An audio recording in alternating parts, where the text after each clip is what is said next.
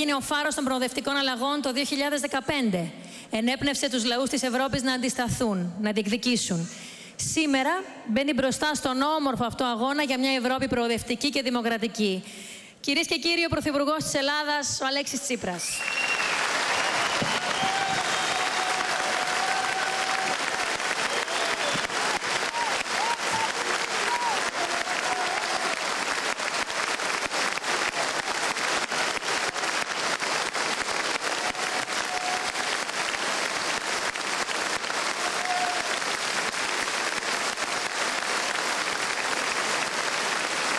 Έχω την αίσθηση, φίλες και φίλοι, προοδευτικοί και δημοκρατικοί πολίτες της Αθήνας και του Πειραιά, έχω την αίσθηση, δεν περάσαν 20 μέρες από την πρώτη συγκέντρωση όταν ανταποκρίθηκαν οι δημοκρατικοί και οι προοδευτικοί πολίτες της Αθήνας και της Ελλάδας στο κάλεσμά μας για μια ευρεία προοδευτική συμμαχία. Δεν περάσαν 20 μέρες και είναι σαν να, έχει περάσει, σαν να έχουν περάσει μήνες. Το κλίμα έχει αλλάξει και το βλέπουμε παντού. Σε κάθε γωνιά της Ελλάδας οι πολίτες συσπυρώνονται. Οι πολίτες έρχονται στο πλάι μας σε έναν μεγάλο και δίκαιο αγώνα για να συνεχιστεί αυτή η μεγάλη πορεία του τόπου προς την πρόοδο και την πολιτική αλλαγή που ξεκίνησε το 2015.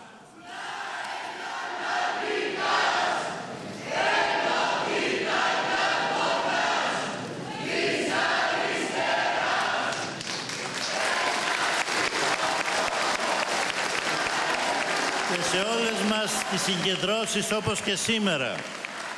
Όπως και σήμερα που πέσαμε έξω στις εκτιμήσεις μας γιατί έπρεπε να έχουμε διπλάσια αίθουσα από τη σημερινή για να μπορέσει να χωρέσει τον παλμό, τη μαζικότητα, την παρουσία των δημοκρατικών και προοδευτικών πολιτών που θέλουν να ενώσουν τις φωνές τους μαζί μας σε όλες τις συγκεντρώσεις τον παλμό πράγματι τον δίνουν οι νέοι άνθρωποι που ήταν αυτοί που έδωσαν τον παλμό και τον τόνο και στους μεγάλους νικηφόρους αγώνες του 2015. Οι συγκεντρώσεις μας παντού βρίσκουν ανταπόκριση και πράγματι αυτή η ανταπόκριση αλλά και αυτός ο ενθουσιασμός δίνουν σε όλους μας την αίσθηση ότι δεν βρισκόμαστε σε μια χαλαρή ευρωεκλογική αναμέτρηση, σε μια χαλαρή ευρωεκλογική μάχη. Αλλά θυμίζουν σε όλους εμάς, τόσο σε ό,τι αφορά τη μαζικότητα, όσο όμως και σε ό,τι αφορά τον ενθουσιασμό, τις μέρες του 2015. Και πιστεύω ότι αυτό είναι ένα πάρα πολύ σημαντικό μήνυμα. Ποιο είναι το μήνυμα; Ότι ο προοδευτικός κόσμος της χώρας μας έχει πεισμώσει τελικά από αυτήν τη φαιά προπαγάνδα από τις τιμένες ειδήσεις, από τα μηνύματα αλαζονίας που στέλνουν όλοι όσοι έχουν βαριά την ευθύνη για τη χρεοκοπία της χώρας και σήμερα όμως έρχονται με θράσος και με αλαζονία και μας κουνάνε το δάχτυλο.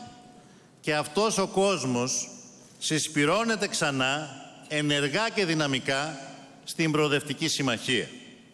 Και όσο περισσότερο οι αντίπαλοι μας γεμίζουν τα πρωτοσέλιδα των εφημερίδων τους και τους, ε, τις τηλεοράσεις και τις ραδιοφωνικές τους συχνότητες με ψέματα, απειλές και συκοφαντίες, άλλο τόσο οι δημοκρατικοί πολίτες θα γεμίζουν στάδια, γήπεδα και πλατείες σε όλη τη χώρα για να εκφράσουν τη στήριξή τους σε αυτή τη μεγάλη προσπάθεια.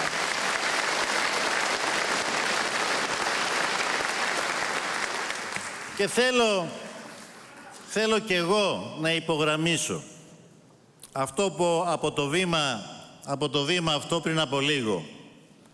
Είπε ο Δημήτρης ο Παπαδημούλης που τα προηγούμενα πέντε χρόνια ήταν επικεφαλής της Ευρω... ευρωβουλευτικής μας ομάδας μαζί με τον Στέλιο τον Κούλογλου μαζί, μαζί με ένα σύμβολο αγώνα ένα σύμβολο αγώνα που ήταν για μας η Κούνεβα που ήρθε στο ψηφοδέλτιό μας για να δώσει παρόν η Κωνσταντίνα η Κούνεβα να δώσει το παρόν των δυνάμεων της εργασίας τη μεγάλη προσπάθειά μας να ξεφύγουμε από τον εργασιακό μεσαίο. Να είπε λοιπόν ο Δημήτρης πριν στόχος μας αυτές τις εκλογές δεν είναι απλά να καταγράψουμε ένα καλό σκορ.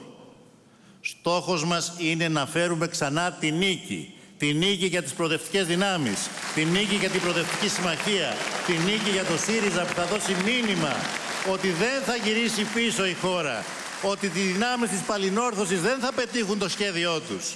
Γιατί σε αυτόν τον τόπο αρμόδιος για να αποφασίσει το μέλλον του και το μέλλον του τόπου είναι μονάχα ο ελληνικός λαός. Αυτός θα αποφασίσει αν θα πάμε μπροστά, αν θα συνεχίσουμε αυτόν τον αγώνα ή αν θα γυρίσει πίσω η χώρα. Και θα στείλουμε βεβαίως και μήνυμα σε όλη την Ευρώπη. Έχουν ορισμένοι προδιαγράψει ότι η Ευρώπη σε αυτές τις ευρωπαϊκές εκλογές ετοιμάζεται να γυρίσει, λένε, την πλάτη της στις προοδευτικές δυνάμεις και να αποθεώσει την δεξιά και την ακροδεξιά. Εμείς τους λέμε μη βιάζεστε ορισμένοι να βγάλετε συμπεράσματα και μη βιάζεστε και κάποιοι άλλοι να κάνετε την προσδοκία σας τελεσμένο γεγονός. Διότι όσοι βιάζεστε, την Κυριακή που μας έρχεται, που εδώ στην Ελλάδα θα σου βλίζουμε τα αρνή, στην Ισπανία θα πάρετε μια πρώτη γεύση στις εθνικές εκλογές από το πώς ο Ευρωπαϊκός Νότος και οι προοδευτικές δυνάμεις μπορούν να αποδείξουν ότι ο Νότος παραμένει προπύργιο η καρδιά της Δημοκρατικής Ευρώπης. Με τη νίκη του Πέδρο Σάντσες αλλά και των Ποδέμος που θα χαλάσουν τα σχέδια της δεξιάς και της ακροδεξιάς που επιθυμούν μάλιστα εκεί να συγκυβερνήσουν. Αλλά θετικές ειδήσεις θα έχουμε κι αλλού. Για δείτε τις τελευταίες εξελίξεις. Θετικές ειδήσεις θα έχουμε και σε κάποιες χώρες του Βορρά. Έτσι λένε οι εκτιμήσεις, όπου σύντομα θα έχουμε εθνικές εκλογές στη Φιλανδία και στη Δανία. Και βεβαίως, αν οι ευρωπαϊκές κάλπες στηθούν και στο Ηνωμένο Βασίλειο, θετικές ειδήσεις θα έρθουν μετά από πάρα πολύ καιρό και από τη Βρετανία με τη μεγάλη νίκη των εργατικών του Τζέρεμι Κόρμπιν και στις αναμενόμενες νίκες των προοδευτικών δυνάμεων στην Ευρώπη, εγώ από την ε, παρουσία μου, τις περιοδίες μου όλες αυτές τις μέρες, αλλά και σήμερα βλέποντάς σας εδώ, τη μαχητικότητά σας, την αποφασιστικότητά σας, σας λέω ναι, προσθέστε στις μεγάλες νίκες των προοδευτικών δυνάμεων και τη νίκη της προοδευτικής συμμαχίας στην Ελλάδα με το ψηφοδέλτιο του ΣΥΡΙΖΑ στις ευρωπαϊκές εκλογές.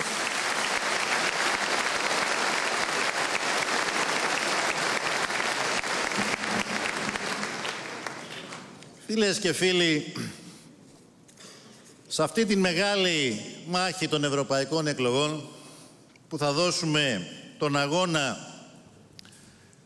εκπροσωπώντας τις δυνάμεις της αριστεράς, αλλά όχι μόνο, τις δυνάμεις της οικολογίας, τις δυνάμεις της αριστερής σοσιαλδημοκρατίας, τις δυνάμεις της προόδου και της δημοκρατίας.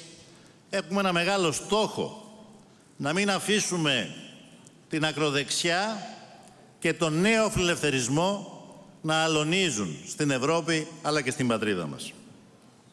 Όμως στη χώρα μας θα προσπαθήσουμε να εκπληρώσουμε αυτό το στόχο έχοντας στη φαρέτρα μας ένα πολύ σημαντικό όπλο που είναι τα πεπραγμένα μιας τετραετούς διακυβέρνησης σε εξαιρετικά δύσκολες συνθήκες δημοσιονομικές πρωτοφανής για τη σύγχρονη μεταπολιτευτική ιστορία του τόπου μας. Ένα όμως από τα μεγάλα όπλα μας στις επερχόμενες εκλογικές αναμετρήσεις είναι εκτός και από τα πεπραγμένα μας, εκτός δηλαδή από αυτά τα πολλά, τα δίκαια που έγιναν πράξη και οι προγραμματικές θέσεις των πολιτικών μας αντιπάλων. Προγραμματικές θέσεις που προσπαθεί όσο μπορεί να αποκρύψει ο κύριος Μητσοτάκης και οι συνεργάτες του, το επιτελείο του, αλλά δεν μπορούν να το καταφέρουν. Δεν τους αφήνει η χαρά να κρύψουν τις θέσεις τους κάποιες φορές. Τους ξεφεύγουν. Τους ξεφεύγουν παντού αυτά που έχουν στο μυαλό τους, αυτά που έχουν στα σχέδιά τους και στο πρόγραμμά τους, αλλά βεβαίως δεν συμφέρει προεκλογικά να τα διατυμπανίζουν.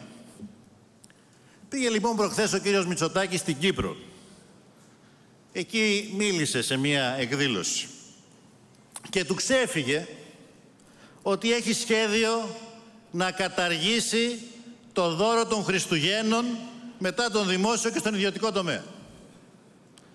Και βέβαια η επιτελής του, το επικοινωνιακό του επιτελείο, τον έβαλε σήμερα άρον-άρον σε έναν τηλεοπτικό σταθμό, στο δελτίο των ειδήσεων, προκειμένου να προσπαθήσει να μαζέψει την αλήθεια που του ξέφυγε προχθές.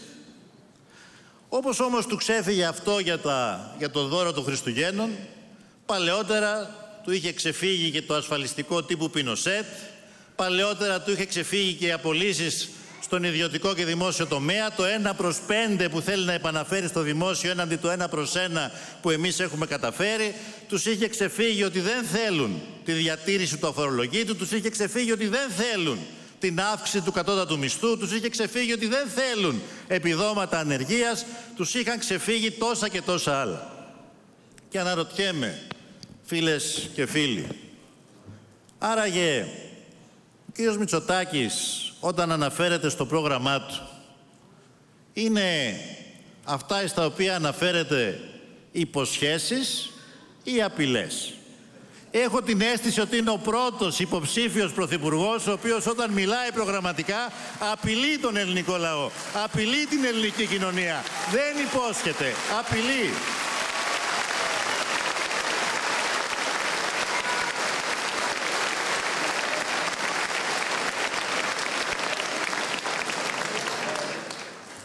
Τον άκουσα σήμερα λίγο πριν φύγω από το γραφείο μου για να έρθω εδώ σε αυτή τη συνέντευξη στον τηλεοπτικό σταθμό του Α έχοντας ένα σωρό σημειώσεις μπροστά του, μην του ξεφύγει τίποτα, να λέει ότι εγώ προσωπικά και όλοι μας είμαστε εκνευρισμένοι, λέει, έχουμε νεύρα, γιατί φεύγουμε. Εδώ και τρεις χρόνια φεύγουμε κατά τον κύριο Μητσοτάκη. Τόσα νεύρα πια μας έχουν ξεχυλήσει. Αλλά προσέξτε κάτι. Προσέξτε κάτι. Επειδή κάθε φορά που βγαίνει ο κύριος Μητσοτάκης σε μια τηλεοπτική συνέντευξη, ίσως επειδή δεν έχει φροντίσει και για τα μηχανάκια που μετράνε την τηλεθέαση, έρχεται δεύτερος και καταϊδρωμένος, δεν ξέρω τι θα κάνει σήμερα, εγώ έχω να του προτείνω έναν τρόπο να αποκτήσει επιτέλους κι αυτός μια τηλεθέαση όπως αξίζει σε έναν αρχηγό της αξιωματικής αντιπολίτευσης. Να έρθει στο στούντιο όταν θα είμαι κι εγώ εκεί. Να έρθει για να αντιπαρατεθούμε. Να αντιπαρατεθούμε πρόσωπο με πρόσωπο. Χωρίς σημειώσεις, χωρίς υποβολή, χωρίς οτοκιού. Να αντιπαρατεθούμε σε όλους τους τομείς για την οικονομία, για την Ευρώπη, για τα εθνικά θέματα. Να ανταλλάξουμε απόψεις, επιχειρήματα. Η αντιπαράθεση στον τόπο δεν μπορεί να γίνεται με συνθήματα, αλλά με επιχειρήματα.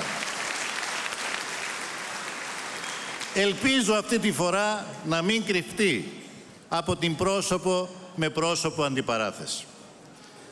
Έρχομαι όμως τώρα στην παρουσίαση να πω δύο λόγια για το ψηφοδέλτιο και για την παρουσίαση του ευρωπαϊκού μας ψηφοδελτίου. Και πρέπει να σας πω ότι είμαι περήφανος τόσο για την παρουσία μας στην Ευρωβουλή από την ομάδα μας Κυρίως ξέρετε γιατί είμαι περήφανος, γιατί ο Δημήτρης, η Κωνσταντίνα και ο Στέλιος έκαναν πράξη.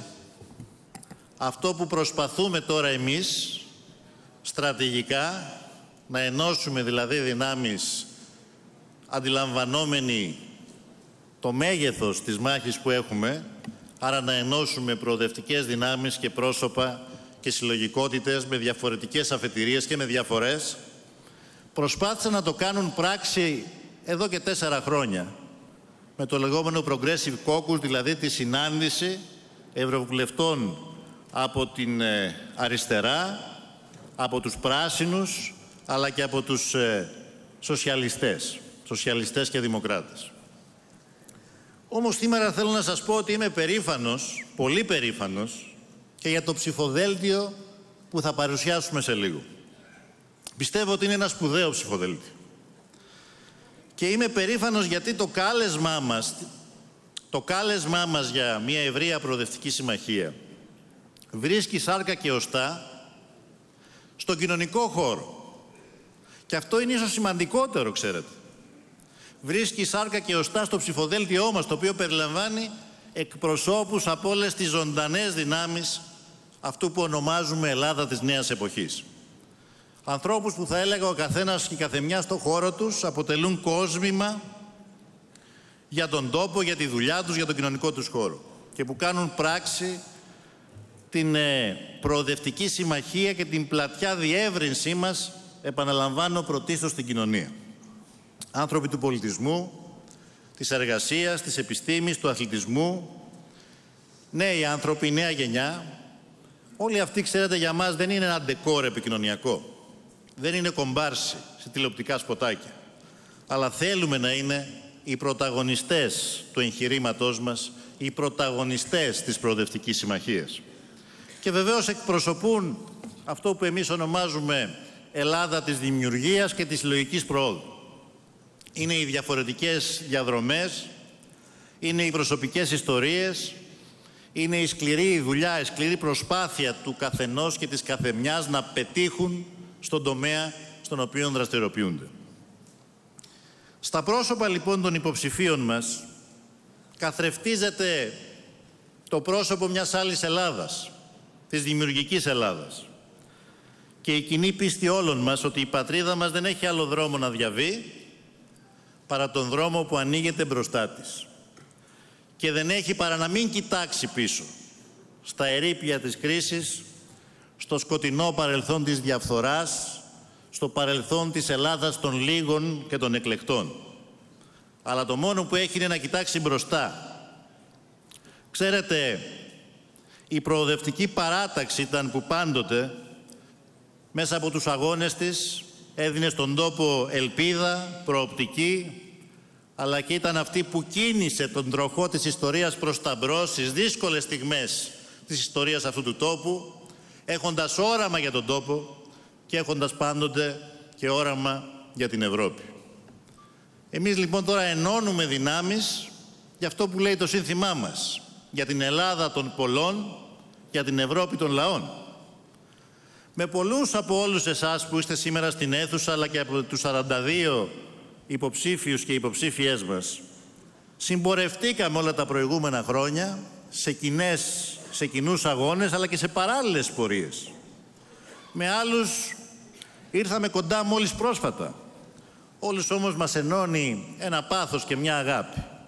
Η αγάπη για αυτόν τον τόπο, αλλά και το πάθος να υπερασπιστούμε τις αξίες και τα ιδανικά που έχτισαν το συλλογικό μας σπίτι, την Ευρώπη. Την Ευρώπη που μοιάζει όμως σήμερα να χάνει τον προσανατολισμό της.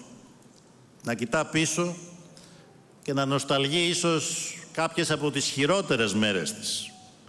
Τις μέρες εκείνες που πιστέψαμε ότι τις έχουμε κλείσει μια για πάντα στο χρονοτούλαβο της ιστορίας. Όμως πρέπει να σας πω κάτι, αν και νομίζω το ξέρετε. Οι πιο όμορφες μάχες είναι πάντοτε οι δύσκολες μάχες. Και μια τέτοια μάχη έχουμε να δώσουμε μπροστά μας για την Ευρώπη, όλοι μαζί.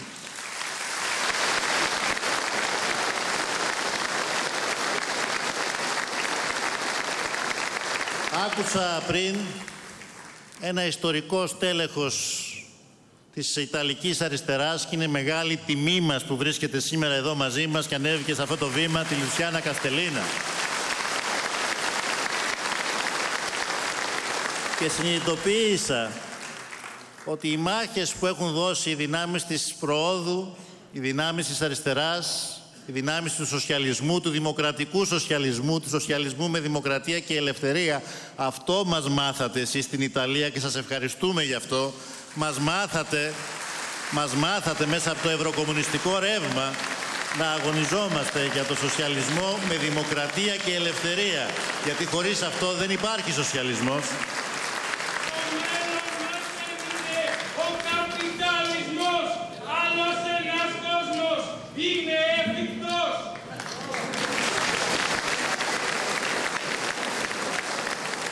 Άλλος ένας όχι, αλλά ένας άλλος σίγουρα είναι εφικτός.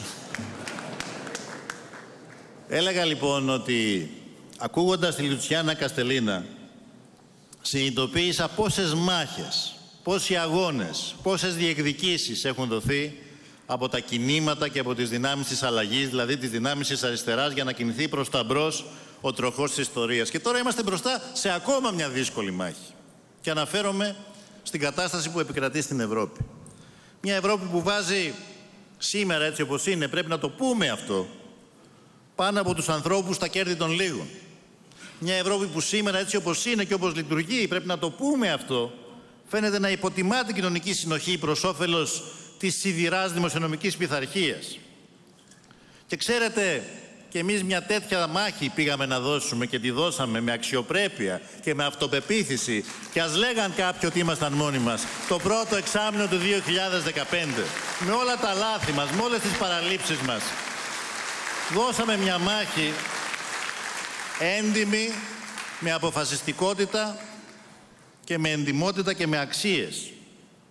Και δεν μας λύγησε το γεγονός ότι βρεθήκαμε μπροστά σε δύσκολες αποφάσεις. Σταθήκαμε όρθιοι και συνεχίζουμε σήμερα από καλύτερες θέσεις. Όμως πρέπει να δούμε σήμερα ότι δεν είναι μόνο αυτό το σκιάχτρο της σιδηράς δημοσιονομικής πειθαρχίας. δεν είναι μόνο αυτό το σιδηρούν παραπέτασμα της λιτότητας, αλλά την ίδια στιγμή δίπλα σε αυτό και εξαιτίας αυτού έχει αναδυθεί ένα σκιάχτρο πολύ πιο απειλητικό από τη λιτότητα.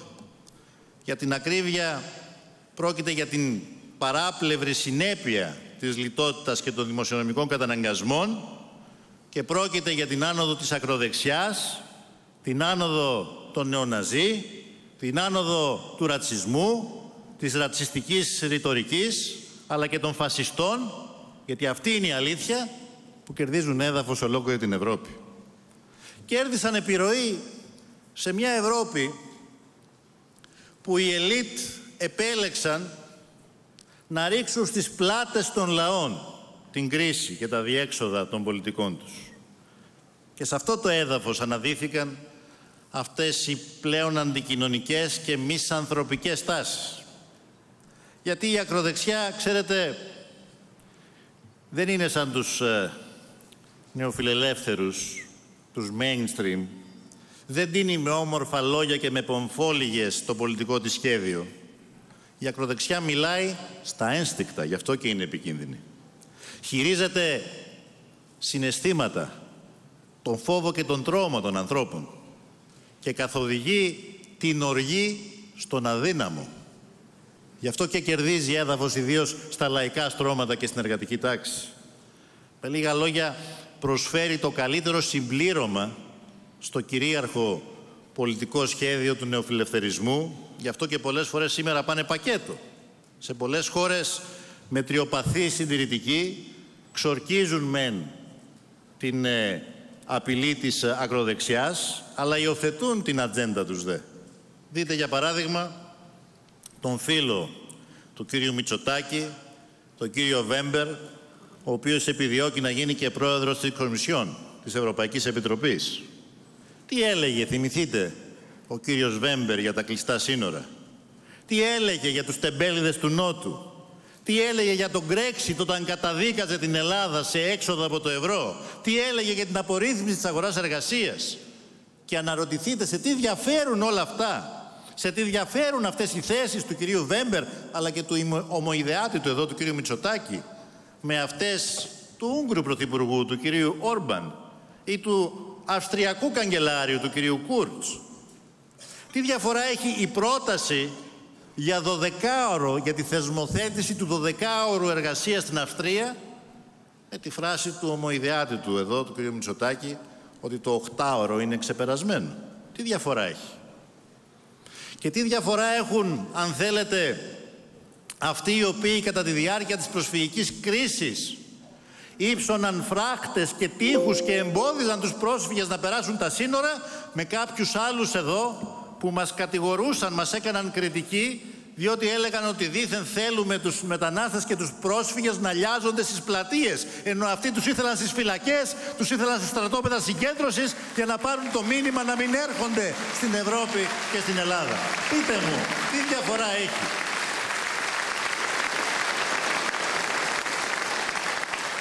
Είναι πολύ θολές οι διαχωριστικές γραμμές. Αλλά ξέρετε εμείς δεν είμαστε διατεθειμένοι να κάτσουμε με σταυρωμένα τα χέρια.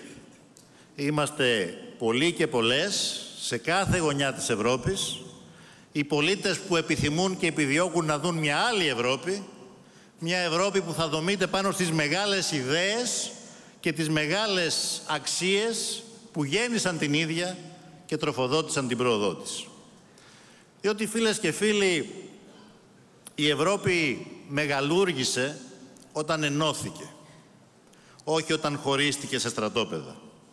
Η Ευρώπη μεγαλούργησε όταν αναδιένει με τον πλούτο, όχι όταν συγκέντρωνε τον πλούτο στα χέρια των λίγων. Η Ευρώπη μεγαλούργησε όταν συνεργάστηκε για τα μεγάλα επιτεύγματα, συνεργάστηκαν οι λαοί της για τα μεγάλα επιτεύγματα στον πολιτισμό και στην επιστήμη, όχι όταν διχάστηκε.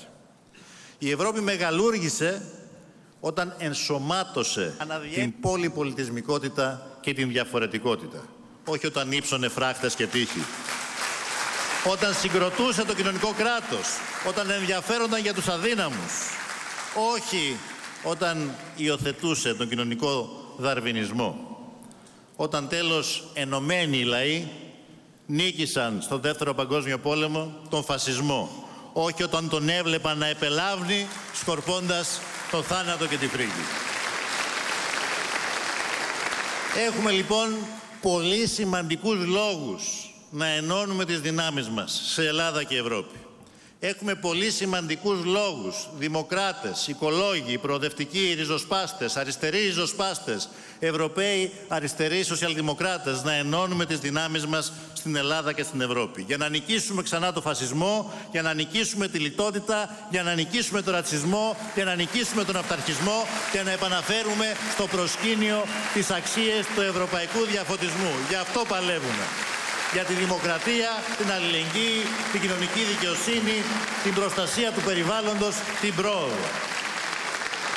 Γι' αυτό παλεύουμε και γι' αυτό θα νικήσουμε στην εκλογική μάχη που έχουμε μπροστά μας. Δεν έχουμε καμία άλλη δυνατότητα. Η μόνη δυνατότητα είναι να νικήσουμε και θα νικήσουμε. Και το ψηφοδέλτιο που θα σας παρουσιάσω σήμερα είναι ένα ψηφοδέλτιο νίκης.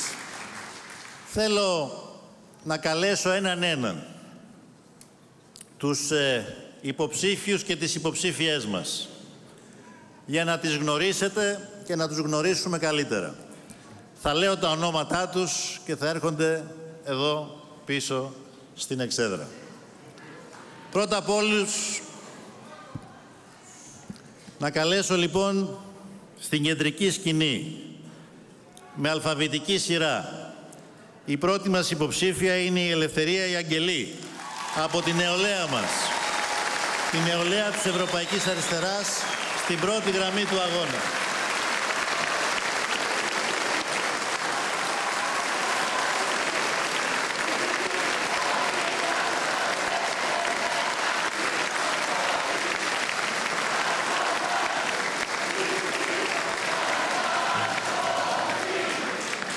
Να καλέσω τον Βλάση τον Αγτζίδη, τον ιστορικό του Πόντου και της Μικρασίας, με μεγάλη συμβολή στην υπόθεση της συλλογικής μνήμης. Γιατί εμείς δεν έχουμε σχέδιο να, να ψηφοθυρούμε στον κόσμο του ποντιακού ελληνισμού όπως κάνουν κάποιοι άλλοι όταν η Ευρωομάδα τους καταψηφίζει τα ψηφίσματα και έρχονται μετά να παρουσιάσουν τους πατριώτες. Εμείς δίνουμε τον αγώνα καθημερινά σε αυτά που πιστεύουμε με τις αξίες και τα ιδανικά μας.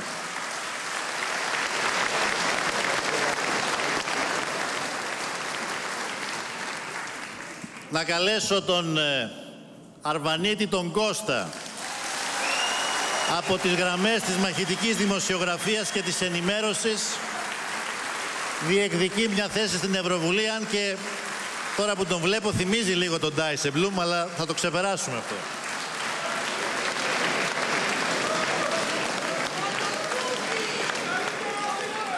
Να καλέσω την Τζέννη την Αρσένη από το χώρο του πολιτισμού σκηνοθέτης από το χώρο του θεάτρου με μια μακρά πορεία στην ανανεωτική αριστερά σήμερα στη δημοκρατική αριστερά που ένωσε τις δυνάμεις της μαζί μας.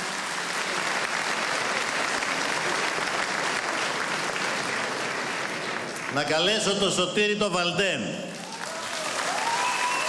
Ο Σωτήρης, ο γνωστός σε όλους μας από τα μαχητικά του άρθρα, από τον αντιδικτατορικό αγώνα μέχρι σήμερα υπέρμαχος της συνεργασίας των προοδευτικών δυνάμεων αλλά και της Ευρώπης στο ψηφοδέλτιό μας εκπροσωπώντας την κίνηση πολιτών γέφυρα.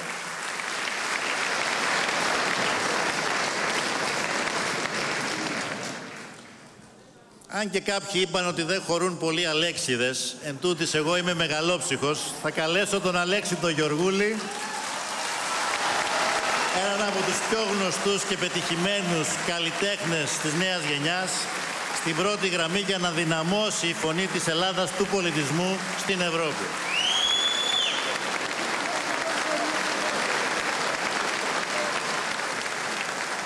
Θα καλέσω τον Νίκο τον Γρεκό, ο σύντροφός μας, ο Νίκος, για χρόνια δραστήριο μέλος της ελληνικής κοινότητας στο Παρίσι, μπήκε και αυτός στο στόχαστρο της κρεατομηχανής της ακροδεξιάς. Νίκο, δεν λογοδοτούμε σε κανέναν ανθρωποφάγο για το ποιον θα αγαπήσουμε στη ζωή μας.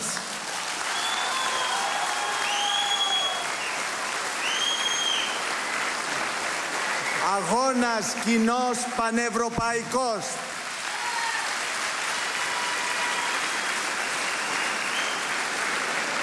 Θα καλέσω τον Σπύρο τον Δανέλη, τον βουλευτή της Ανανεωτικής Αριστεράς, που με σθένος και παρησία μπήκε ολόψυχα στη μάχη για τη Συμφωνία των Πρεσπών και δίδαξε ήθος τους αλλαλάζοντες εθνικόφρονες που εκείνη την ώρα προσπαθούσαν να ματαιώσουν μια ιστορική συμφωνία. Σπύρο, σε ευχαριστούμε.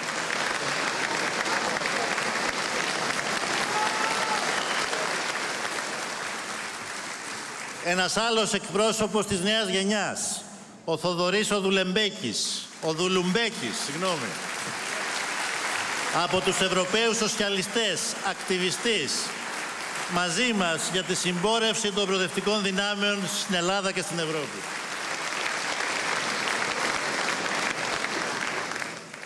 Άλλος ένας εκπρόσωπος της νέας γενιάς, ο Μάριος ο Θεοφυλάτος, από τη νεολαία του ΣΥΡΙΖΑ και από τον ιστορικό τόπο του Μεσολογγίου, μουσικός, νέος και ωραίος. Πούντος.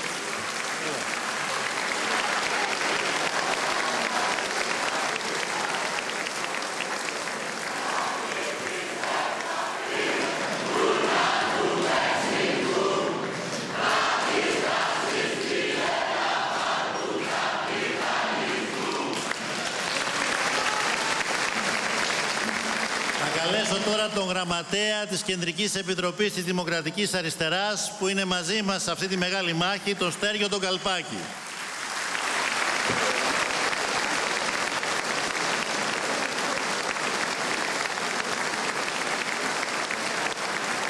Βεβαίως σηκώθηκε όλο το γήπεδο όρθιο και δικαίως για την Λουτσιάνα την Καστελίνα.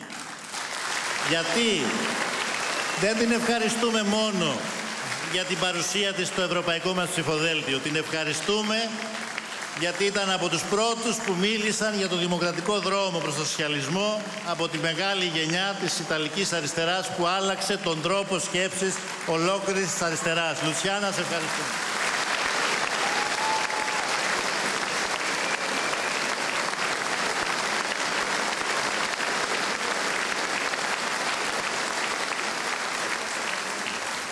Τώρα, ορισμένες φορές η μοίρα εκδικείται, διότι στον αριθμό 13 στο ψηφοδέλτιο είναι ποιος; Ο Πέτρος ο Κόκαλης.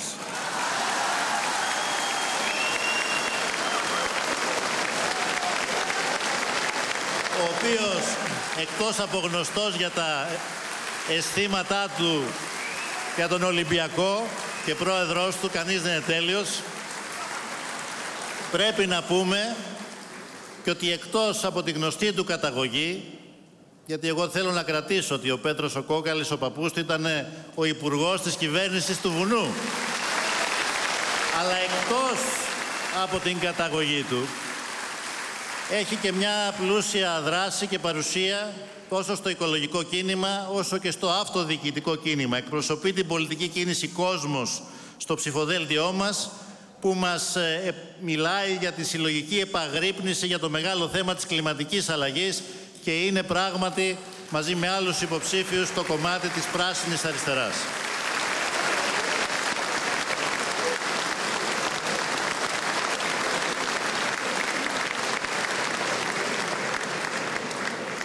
Η επόμενη υποψήφια είναι η Λιδία Εικονιόρδου.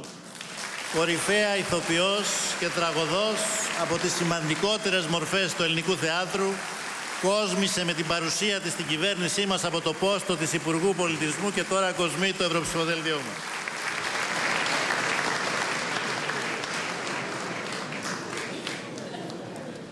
Η επόμενη υποψήφια είναι και αυτή από το χώρο της οικολογίας, με μακρά πορεία στο οικολογικό κίνημα και τους μεγάλους αγώνες για τα δικαιώματα, η Ιωάννα Οικοντούλη.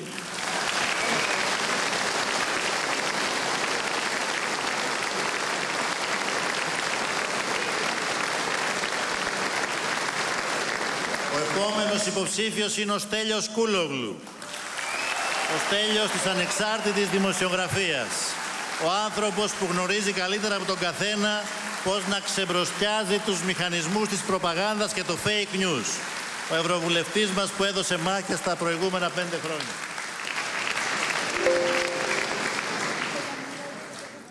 Και η επόμενη Ευρωβουλευτήνα μας, η Κωνσταντίνα Ικούνεβα, σύμβολο μάχης ενάντια στην εργοδοτική τρομοκρατία. Μια γυναίκα που μας δίνει δύναμη και ορμή για τους αγώνες του μέλλοντος.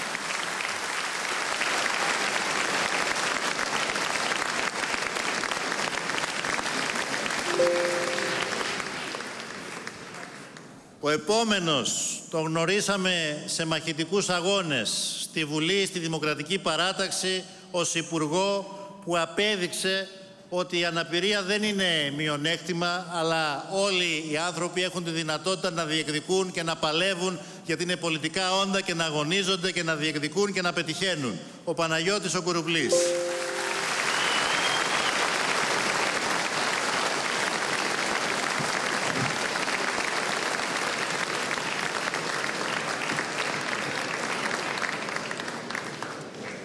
Η επόμενη υποψήφια, η Γιώτα Ηλαζαροπούλου, με ηγετική παρουσία στους αγώνες των ενοικιαζόμενων εργαζόμενων του τραπεζικού τομέα που αγωνίστηκαν με στένος και κέρδισαν τα δικαιώματά τους.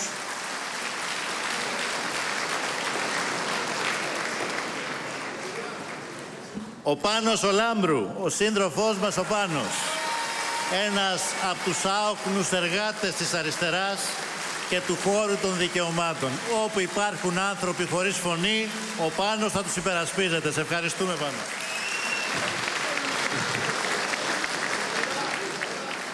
Η Κυριακή Μάλαμα, ακόμα μια παρουσία από το χώρο του πολιτισμού, από τη Θεσσαλονίκη και τη Χαλκιδική, τα τελευταία χρόνια στην ΕΡ3,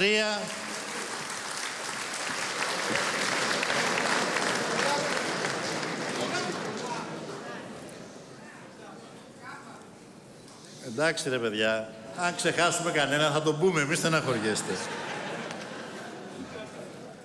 Εντάξει, ξεχάσαμε, αλλά αυτή δεν ξεχνιέται να πούμε, διότι έχει, διότι έχει σαρώσει όλα τα βραβεία στον τουρισμό. Ξεχάσαμε την Έλενα την Κουντουρά. Έλενα. Η υπουργός που βρίσκεται πίσω από τις πολύ μεγάλες επιδόσεις και την αναγέννηση του ελληνικού τουρισμού.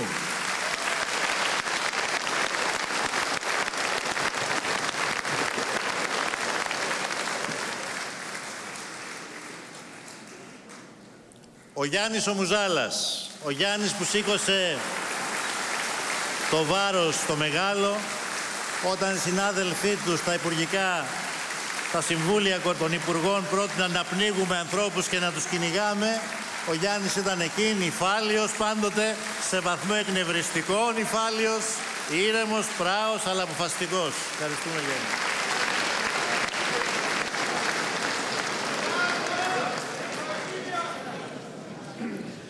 Η Ουφούκ Μουσταφά. Τη γνώρισα ως ενεργό μέλος της νεολαίας του ΣΥΡΙΖΑ στη Νομική Σχολή Κομωτινής.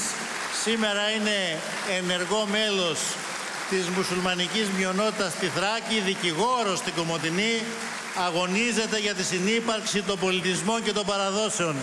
Ευχαριστούμε.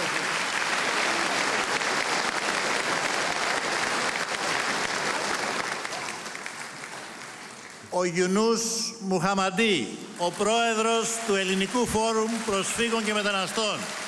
Ο γιατρός από το Αφγανιστάν που έκανε την Ελλάδα δεύτερη πατρίδα του. Τον ευχαριστούμε για τους αγώνες που δίνει, τον ευχαριστούμε που είναι στο ψηφοδέλτιό μας.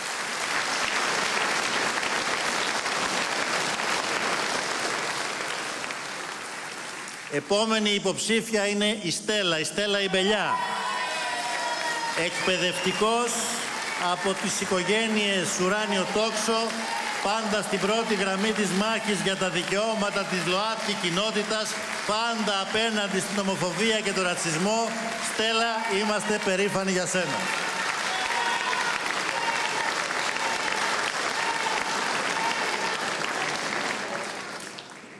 η Όλγα Ινάση, η πρόεδρος των ελληνικών κοινοτήτων της Ιταλίας, με ελληνική και ιταλική καταγωγή, ζυμώνυμα στη Σικελία, αλλά είναι και κόρη ενός μεγάλου αγωνιστή της αριστεράς, του Αγροτικού Κόμματος Ελλάδας, του γνωστού Νάση του Αγροτικού Κόμματος Ελλάδας και συνεχίζει στο δρόμο του αγώνα εκεί από την Ιταλία, αλλά η μάχη είναι πανευρωπαϊκή.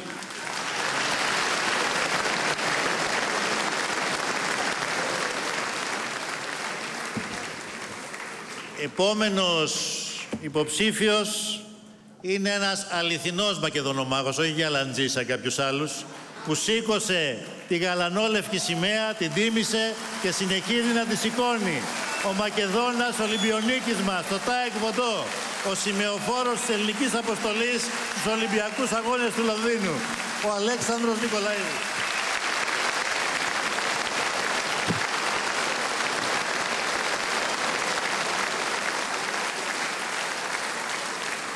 Επόμενος υποψήφιος είναι ο Ρος Ντέιλι. Ένας Ιρλανδός με κριτική ψυχή που για χρόνια μας ταξιδεύει με τις μελωδίες του και παράλληλα εργάζεται για τη συμπόρευση των προοδευτικών δυνάμεων. Ο Ρος σήμερα δεν μπόρεσε να έρθει γιατί, γιατί βρίσκεται στη Σικελία, γιατί; Σε ένα προγραμματισμένο μάθημα που δεν μπορούσε να αναβάλει για να διδάξει κριτική μουσική στη Σικελία. Δεν υπάρχουν σύνορα στην Ευρώπη.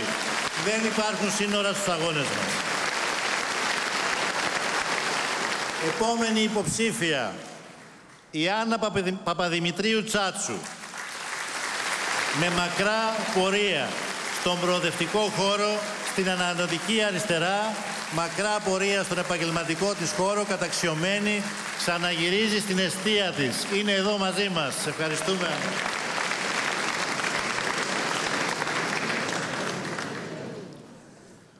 Ο επόμενος, μάλλον τον έχετε ακούστα, είναι ο Δημήτρης ο Παπαδημούλης. Μια από τις πιο συνεπείς φωνές του αριστερού ευρωπαϊσμού στην Ελλάδα και στο Ευρωπαϊκό Κοινοβούλιο. Πρωτεργάτης αυτής της μεγάλης προσπάθειας.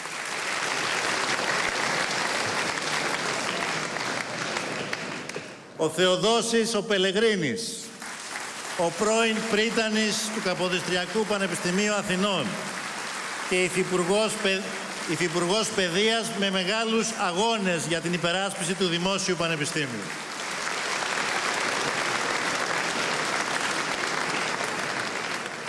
Ο Γιώργος ο Πετρόπουλος από το συνδικαλιστικό κίνημα, αντιπρόεδρος της ΑΔΕΔΗ με πλούσια συνδικαλιστική δράση.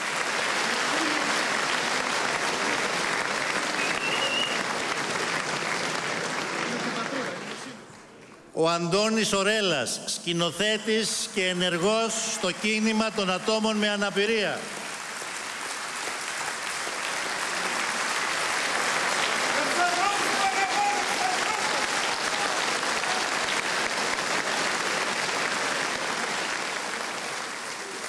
η Νατάσα η Ρωμανού, ερευνήτρια της ΝΑΣΑ και ομότιμη καθηγήτρια στο Πανεπιστήμιο Κολούμπια. Κολούμπια ή Κολάμπια δεν έχει σημασία.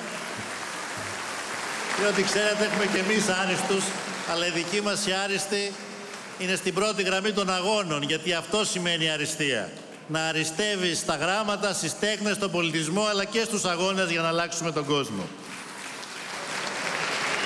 Η Νατάσα βρίσκεται στη Νέα Υόρκη, θα έρθει τις επόμενες μέρες για την, ε, τις ανάγκες της προεκλογικής μάχης, δεν μπόρεσε να είναι σήμερα μαζί μας. Η Φωτεινή Σκοπούλη, γιατρός, πανεπιστημιακός, που έχει διατελέσει υφυπουργός Υγείας από τα Γιάννενα, από την Ήπειρο, εκπροσωπώντας τη Δημοκρατική Αριστερά στο ψηφοδέλτιο.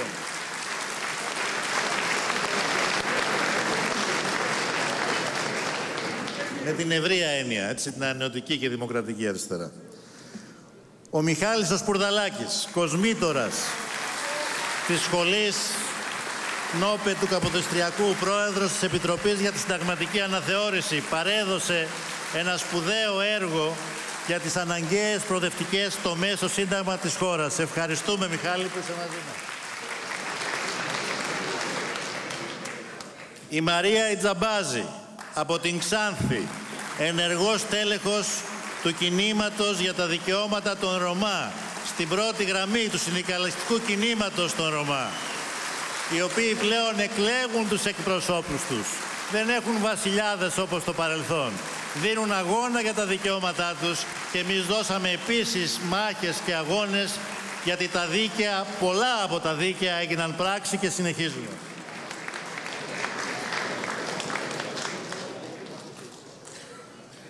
Ο Βλάσης ο Τσιόγκας, ένας νέος αγρότης από την Κορινθία, εκπροσωπώντας τη νέα γενιά των ανθρώπων που στηρίζουν την αγροτική παραγωγή.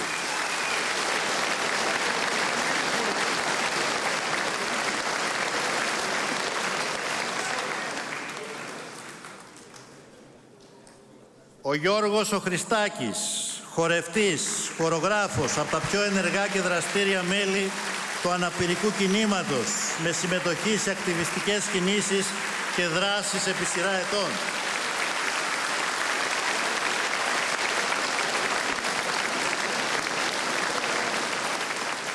Καλά, νομίζετε ότι είναι αδικημένοι αυτούς που τους περνάμε από τη σειρά. Δεν είναι αδικημένοι. Μεγαλύτερη προβολή. Ο Δημήτρης ο Πλουμπίδης δεν χρειάζεται πολλά λόγια για να προσφωνηθεί. Καθηγητής και πρόεδρος της Ελληνικής Ψυχιατρικής Εταιρείας, γιος του μάρτυρα της Ελληνικής Αριστεράς, Νίκου Πλουμπίδη. Σε ευχαριστούμε Δημήτρη που είσαι μαζί μας.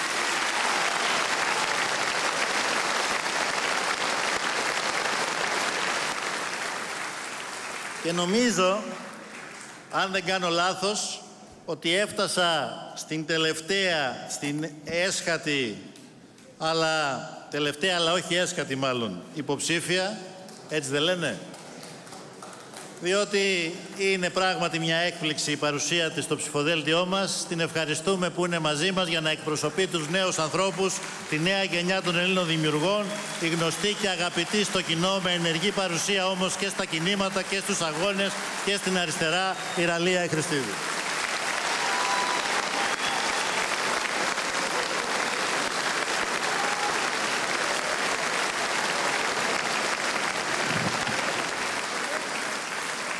Αυτή δεν είναι ομάδα ρε παιδιά, αυτή είναι η Dream League. Η Dream Team. Η Dream Team. Λοιπόν, ε, φίλες και φίλοι, έχω την αίσθηση ότι το ψηφοδέλτιό μας είναι ένα ψηφοδέλτιο από ανθρώπους από όλο το κοινωνικό φάσμα, από όλο το κοινωνικό χώρο. Ένα ψηφοδέλτιο μάχης, ένα ψηφοδέλτιο αγώνα. Εγώ θέλω να ευχηθώ, καταρχάς να ευχαριστήσω όλες και όλους όσοι ανταποκρίθηκαν στο κάλεσμα αυτής της πλατιάς εισπύρωσης. Και είναι στους 42 υποψήφιους που θα διεκδικήσουν τη συμμετοχή στο νέο Ευρωπαϊκό Κοινοβούλιο από θέσεις αριστεράς, από θέσεις προόδου, από, την, από θέσεις δημοκρατικής προοδευτικής παρουσίας. Θέλω να ευχαριστήσω όλους και όλες, να ευχηθώ καλή επιτυχία. Θέλω να ευχαριστήσω και όλους εσάς για την παρουσία σας εδώ. Και θέλω κλείνοντας να πω ότι δεν αρκεί να έχεις την Dream Team. Πρέπει η Dream Team να μάθει να παίζει και συλλογικά, να δίνει πάσες και να σκοράρει. Πρέπει το επόμενο διάστημα η Dream Team μαζί με όλους εσάς να οργώσουμε την Ελλάδα με τον γνωστό παραδοσιακό τρόπο. Χωριό το χωριό, πόλη την πόλη, χώρο δουλειάς το χώρο δουλειάς. Να δώσουμε το μήνυμα της προόδου, της δημοκρατίας, να δώσουμε το μήνυμα της νίκης. Και είμαι βέβαιος ότι το αποτέλεσμα της 26ης Μαΐου θα είναι ένα αποτέλεσμα που θα επιβεβαιώνει τις προσδοκίες και τους αγώνες μας. Καλή δύναμη σε όλους και σε όλες. Να είστε καλά. Γεια σας.